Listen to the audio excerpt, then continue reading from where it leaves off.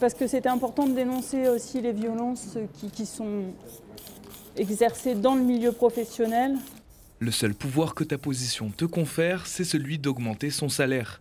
De cette phrase, Petite Poissonne marque l'entrée des locaux de Grenoble-Alpes Métropole, une phrase accompagnée de la silhouette d'un homme en costume pour dire non à toutes les violences faites aux femmes. Ça traite de deux problèmes, des violences, des violences euh, euh, sexistes or- ordinaires dans le milieu du, travail, mais, même les blagues, euh, les blagues, euh, les blagues tolérées, un peu trop tolérées dans le milieu professionnel, sur le physique des femmes, sur des choses comme ça.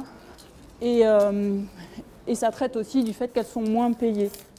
Pour la journée internationale de lutte contre les violences faites aux femmes, la métropole voulait un geste fort. Chaque année, elle profite de cette occasion pour sensibiliser le public à toutes les formes de violence. Aujourd'hui, grâce à la street artiste, elle espère faire passer ce message. Le pouvoir ne donne pas tous les droits. Nous l'avons choisi parce que c'est quelqu'un que nous connaissons, nous apprécions ses œuvres, nous apprécions euh, sa volonté, sa détermination aussi qui ressemble un peu à la nôtre sur ce domaine des luttes euh, contre les violences faites aux femmes et de- des luttes féministes. Tout au long de l'année, la métropole met en place des actions sur le territoire pour l'égalité. Depuis 2020, la Maison pour l'égalité femmes-hommes est un service métropolitain. Créé en 2005, ce véritable lieu de ressources mène des projets thématiques auxquels elle associe des acteurs et actrices du territoire.